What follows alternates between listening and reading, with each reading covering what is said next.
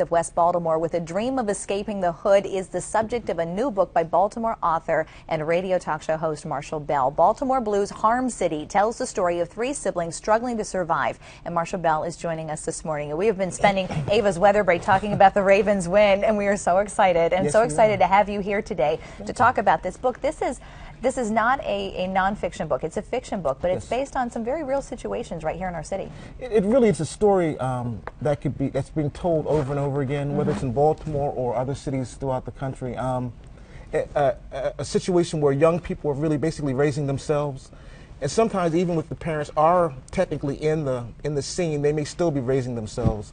Um, but it shows that there are some kids out there who um, who want to do good, but they may need a, need a little bit of help to, to get there. And this is something you know a lot about. You spent a lot of time going into schools and talking with young people. it's part of my um, my my mission, I think, to really to reach out to kids. Part of what I believe is that for folks that are of my age, my generation, it's important for us to reach back and help some kids and give them a, a broader vision of where they can go and that there is hope.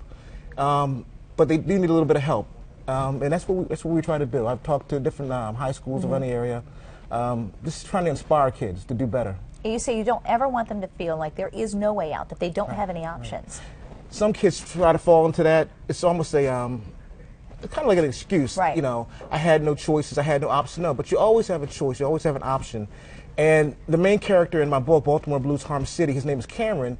He's one of those children that's kind of on the line where they could go either way. He could fall into the street, but he has a desire to do something different.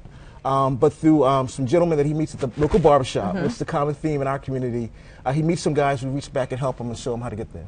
And he has two other siblings who are going through the very same things, different ages. Yeah, yeah. His older sister, um, her name is Chance. Uh, her story is very, very interesting, and it's um, very real.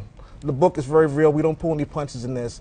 Uh, in order for her to feed her family and take care of her two younger brothers, she has to do some things that she's not very, she would not normally do. I'll put it like that.